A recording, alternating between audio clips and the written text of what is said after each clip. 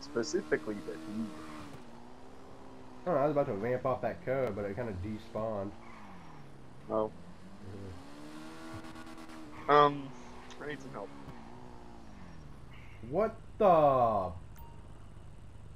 Huh? What? Oh, am I stupid? I'm stupid. What? Looks like the garage door was... What's that sparking? Oh. What? Huh? What? What? What? Huh? I... c- Wait. Wait. If I... I kind of drove too fast and I got stuck on the railing now. It's kind of weird now. I don't move. I literally can't. I mean, Don't try to move.